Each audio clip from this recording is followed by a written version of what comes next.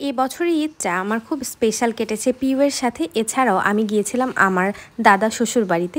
So সারটা দিন, ঈদের দিন কি কি করলাম, কি কি মজা করলাম সব কিছু নিয়ে থাকছে আজকে ঈদ ডে ব্লগ ঈদের দিন সকালবেলা আমি হচ্ছে, আগের দিন এটা হচ্ছে খুব সুন্দর করে সাজিয়ে রেখেছি যে কোন জামাটা পরবো। সো এক ঝলকে তোমাদেরকে দেখিয়ে দিই। এখানে আরও দুইটা জামা মিস হয়েছে কারণ ওই দুইটা জামা আমি প্রি অর্ডার করে রেখে দিয়েছি কুরবানির ঈদের জন্য। সো এটা হচ্ছে আমার রোজার ঈদের অল শপিং ছিল, যেখানে আমার ব্যাগ ব্যাগ, তার সাথে জুতা ছিল, ড্রেস ছিল। এরপর আমার হাজব্যান্ডের কিছু শপিং দেখাই দিই। আমাদের ঈদ গিফট বলতে আমরা দুইজন, দুইজনের জন্য কিনি। ও আমার জন্য কিনে দেয়, আমি ওর জন্য কিনে দিই। এইভাবে আমরা ঈদ ডেটটা সেলিব্রেট করি প্লাস ঈদের জামা কাপড়গুলো কিনে থাকি। সো বাসা থেকে শ্বশুরবাড়ি থেকে তো দেয়ই। সো নিজেরাও নিজেদের কিছু গিফট করি। ঈদের দিন সকালবেলায় যে ঘুম থেকে উঠলাম পিউকে নিয়ে, পিউ খুবই দুষ্টু করতেছিল সকাল থেকেই। এবার পিউ প্রথম এসেছে আমার শ্বশুরবাড়িতে। প্রতিটা ঈদেই আমার কাজ থাকে প্রথমে। সকালবেলা ঘুম থেকে উঠে পাঞ্জাবিটা রেডি করে দেওয়া। আমার হাজব্যান্ড গোসল থেকে এসে কোন পাঞ্জাবিটা পরবে, কি কি পরবে সো সেগুলো আমি সুন্দর করে রেডি করে রাখি বেডের উপরে। সো ও এসে সব কিছু সুন্দর করে পরে।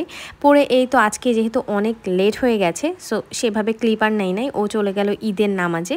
এবং আমি এখন রেডি হব, কারণ ঘুম থেকে উঠছি এবং আমার সকালবেলা, ঈদের দিন সকালবেলা উঠতে খুবই ইয়া লাগে আলিশি লাগে। কারণ ঈদের আগের দিন আমি মোটামুটি সব কিছু প্রিপেয়ার করে রাখি আর এগুলো করতে করতে আমার রাত তিনটা, চারটা বেজে যায়। সো সকালবেলা ঘুম থেকে উঠতে অনেক কষ্ট হয়। আর এই যে পিউকে খুব সুন্দর করে গোসল করিয়ে দিয়েছিলাম আগের দিন যাতে করে অনেক সুন্দর দেখা যায়। এখন আমি এই যে আই মেকআপটা কমপ্লিট করে নিয়েছি, এবার আমি বেস মেকআপটা কমপ্লিট করব। তার আগে পিউকে একটু ড্রেসটা পরিয়ে দিয়েছি। কারণ ড্রেস পরে একটু পিউয়ের সাথে ছবি না তুললে তো হবেই না। আমার হাজব্যান্ডে যে খুব সুন্দর করে এখন পিউকে নিয়ে বসবে ছবি তুলতে। পিউ গায়ে জামা কাপড় পরতেই চায় না। পরলে কিন্তু খুবই ও ডিস্টার্ব ফিল করে, ওর মন খারাপ থাকে। যে দেখো, একদম চুপ হয়ে আছে। ও যখন খুব বেশি জ্বালায়, ওকে আমি জামা কাপড় পরাই দিই। এতে করে ও অনেক বেশি চুপ হয়ে যায় এবং একটা জায়গায় থাকে। নর্মালি আস্তে আস্তে হাঁটাহাঁটি করে, লাফালাফি করে না। এরপর আমার হাজব্যান্ড আমার জন্য, আমার শাশুড়ির জন্য এবং আমার আম্মুর জন্য ফুল নিয়ে এসেছে তিনটা, তিনজনের জন্য। সো এখানে আমার আম্মু ছিল না যেহেতু ক্লিপটা নিতে পারি নাই।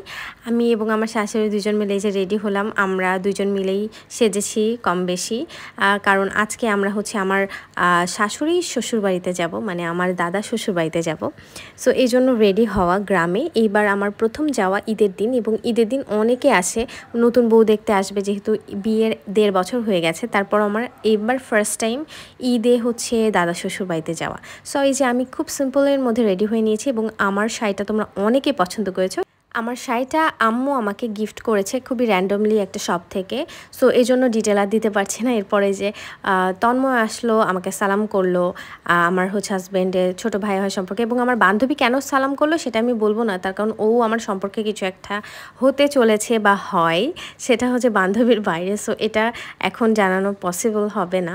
সো এই তো এরপর হচ্ছে আমি পিউকে আবার পাঞ্জাবি পরাই দিচ্ছি। তার কারণ আমার পিউয়ের সাথে ছবি তোলা হয় নাই। এজন্য আবার পাঞ্জাবিটা পরাই দিলাম পরাই দিয়ে আমি হচ্ছে এখন ছবিটা তুলব। ও খুব লক্ষ্মী বাচ্চার মতো হচ্ছে পাঞ্জাবি পরে এবং দেখো কোনো মানে তার এদিক ওদিক নাই, লাফালাফি, ঝাপাঝাপি নাই, যেভাবে পরাবো সেভাবেই থাকে। মানে ও জামা কাপড় পরলে বা একটু সাজগোজ করলে খুবই শান্ত থাকে। সো এই তো আমি, আমার এখন মনে হচ্ছে যে আমার ঈদের এই ড্রেসটা এবং পাঞ্জাবিটা তোমরা অনেকে ভাবছ যে আমরা মেবি ম্যাচিং করে কিনেছি বাট না, আমরা ম্যাচিং করে কিনি নাই। আমাদের এবার প্ল্যানিং ছিল না বাট আল্লাহ আমাদের প্ল্যানিংটা করে দিয়েছে। কারণ হচ্ছে আমরা জানতামও না যে আমাদের এই ড্রেসটা ম্যাচিং হবে। আমার বাসা থেকে ওকে পাঞ্জাবিটা দিয়েছে এবং আম্মু আমাকে শাড়িটা দিয়েছে। যার জন্য এটা সামহাও ম্যাচিং হয়ে গেছে। তো এই তো পিউ এই যে আদর দিচ্ছি আমি, পিউ খুব আদর নেয়। খুবই শান্ত একটা বাচ্চা। এরপর শান্তার সাথে এবং খুশির সাথে আমরা ছবি তুলে নিলাম। ছবির পর্ব শেষ করে যে এখন আমি বাইরে যাব, পিউ হচ্ছে তার ডিউয়ের কোলে উঠবে না, তার মিউয়ের কোলে উঠবে। এই জন্য হচ্ছে আমি নিজেই নিলাম। ও হচ্ছে আননোন কাউয়ের কোলে অনেকক্ষণ থাকতে চায় না। মনে করছিল যে হয়তো তাকে কোথাও নিয়ে যাচ্ছে আমার কাছ থেকে এই জন্য বারবার লাফালাফি করতেছিল। এরপর পিউয়ের সব কিছু জিনিসপত্র নিয়ে আমরা চলে গেলাম বাইরে মানে গ্রামের বাড়ির উদ্দেশ্যে সো এই তো আমরা সবাই বসে আছি, এই যে যাচ্ছি। পিউ ট্রাভেল করার সময় খুবই শান্ত থাকে এবং আজকে না ঈদ ঈদের একটা আরও স্পেশাল ফিল আসছিল। একবার মনে হচ্ছিল যে আমরা মনে হয় কোনো দাওয়াতের প্রোগ্রামে যাচ্ছি, আবার মনে হচ্ছে যে আজকে ঈদ। মানে কীভাবে যে ঈদটা পার করেছি এটা আমি মানে সেভাবে ভাবতেও পারছি না, বুঝতেও পারছি না। ঈদের দিনটা খুব স্পেশালি চলে গেছে আমার।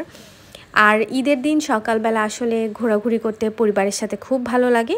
তবে এখানে হচ্ছে আমরা আপুকে খুব বেশি মিস করেছি, আমার ননদ। সে হচ্ছে আমেরিকাতে চলে গেছে বাবুদেরকে নিয়ে। প্রতি বছর বাবুদের সাথে ঈদের সকালটা সেলিব্রেট করা হয়, তোমরা অনেকেই জানো। আর এইবার নাই, এজন্য একটু মন খারাপ লাগছে, তারা থাকলে আরও বেশি মজা হতো, অনেক এনজয় করতে পারতাম। আপুর সাথে কথা বলছিলাম একটু আগে ভিডিও কলের মাধ্যমে। সো এরপর আমরা চলে গেলাম গ্রামে। এবং গ্রামে ভুট্টা ক্ষেত দেখতে দেখতে মানে পাগল হয়ে যাচ্ছিলাম। চারিদিকে ভুট্টা খেয়ে তার কলা গাছ এরপর চলে আসলাম আমার দাদা শ্বশুর বাড়িতে।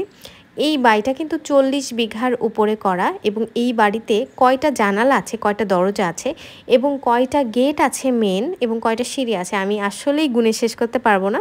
কারণ আমি শুধু ভাবছিলাম যে এই বাসাতে এক একটা দিক দিয়ে এক একটা দরজা মানে চার পাশ থেকে দরজা আছে চার পাশ থেকে উঠান আছে মানে তুমি একটা জায়গা দিয়ে ঢুকলে অন্য জায়গা দিয়ে তোমার বেরোতে হবে।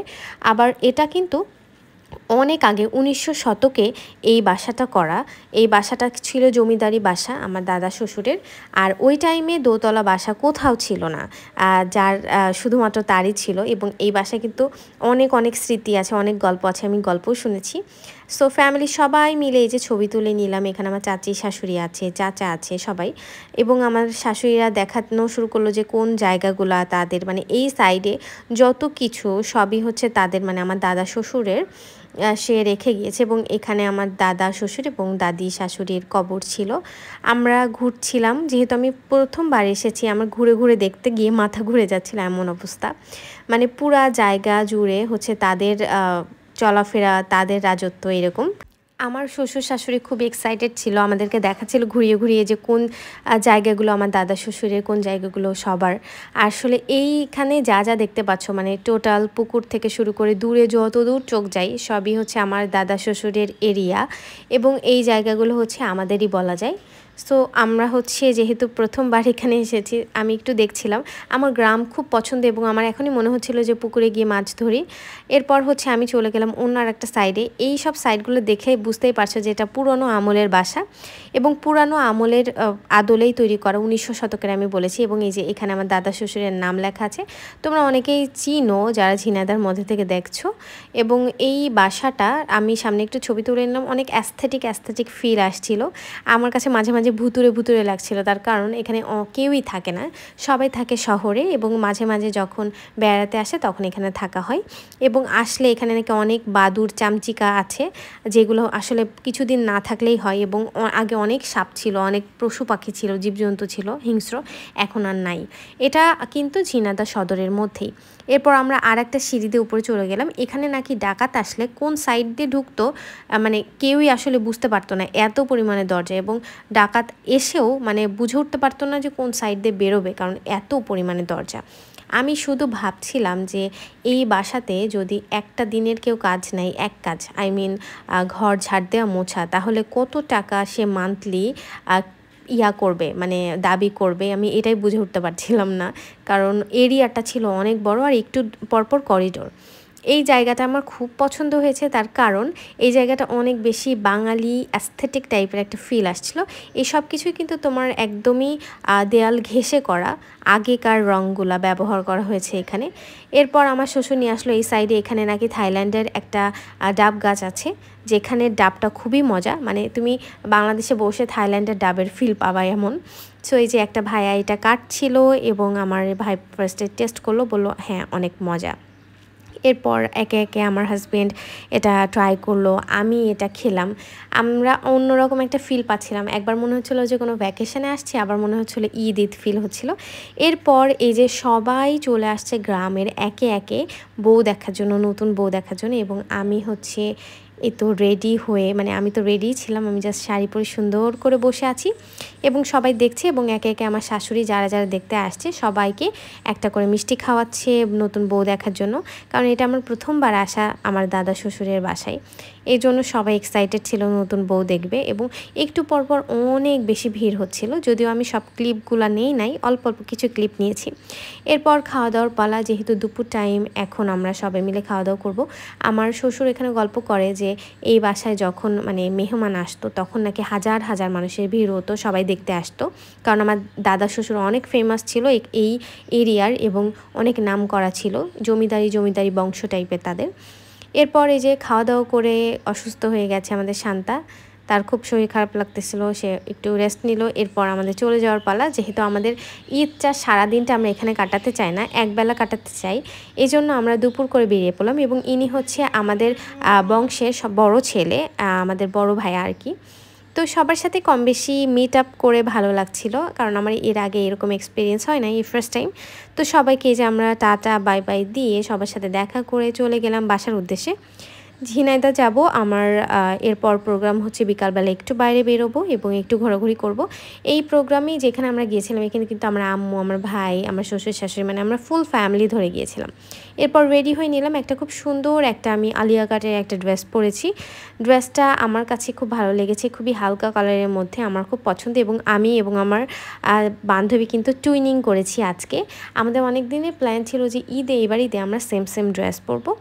তো এরপর আমরা ঘুরতে চলে গেলাম ঝিনাদাহের খুব ফেমাস একটা এরিয়া বাইপাসের সাইডে এবং এই যে দেখা হয়ে গেল আকিব আহমেদের সাথে। সে এখনও ব্যাচেলার তার বিয়ে টিয়ে সম্পর্কে খোঁজখবর নিয়ে আমরা আবার ঘুরতে চলে গেলাম। আমরা এখন এখানে কিছু ছবি তুলবো দুজন একসাথে এবং কিছু ভিডিও ক্লিপ করব। তারপর হচ্ছে ঘোরাঘুরি করব যে আমরা একসাথে একটু পোজ নিচ্ছিলাম। আমরা কিন্তু খুবই খুশি দুজন সেম ড্রেস পরে। এবং এই সাইডগুলোতে আসলে আমরা সবসময় আসি ঈদের এবং ঈদে বাইপাসে না ঘুরলে হয় না। কেন জানি না, একটুও ভালো লাগে না। আমরা যেখানে যাই, আমরা ঈদের দিন বা বিশেষ কোনো প্রোগ্রামে বাইপাসটা মিস করি না। এটা সবাই করে ঝিনাদার মধ্যে। সো আমরা রিক্সা ট্যুরটা বেশি পছন্দ করি, কারণ রিক্সাতে অনেক সুন্দর বাতাস আসে। একটু রোম্যান্টিক রোম্যান্টিক ফিল হয় এবং আমরা যে দুজন হাত ধরাধরি করে বসে আছি এবং আমার এই চুড়িটা আমি নিয়েছিলাম সুলতানাস ডুয়েলিং পেজ থেকে। তারা আমাকে পিয়ার করেছিল, তোমরা চেক করতে পারো। এবারের ঈদে যেন ট্রেন্ডিংয়েই আছে তারাই যে কিছুক্ষণ পর যেতে যেতেই মনে হয় যে হচ্ছে সবাই নাচানাচি করতেছে, ভ্যানের উপর উঠে। আর এই ভাইয়াটার আমার ভিডিওতে আসার খুব ইচ্ছা ছিল, এই জন্য সে আগে থেকে বলতে বলতে আসছিল যে আমি ভিডিও ক্লিপে যাব। এরপর আমরা চলে আসলাম রেস্টুরেন্টে লা এলিমেন্টোতে ঈদের সময় রেস্টুরেন্টে অনেক বেশি ভিড় হয়, ঝিনাদার মধ্যে, তোমরা যারা থাকো তারাই জানো। আমার ঈদের সারাটা দিন এভাবেই কেটেছে। সো সারাটা দিন আমি তোমাদের সাথে কিছু কিছু ক্লিপ নেওয়ার চেষ্টা করেছি দেখানোর জন্য। So that's all my Eid যে ব্লগ আশা করছি তোমাদের সবার ভালো লাগবে। সবাই ভালো থাকো, সুস্থ থাকো, সবাইকে ঈদ মোবারক অ্যান্ড আল্লাহ হাফিজ।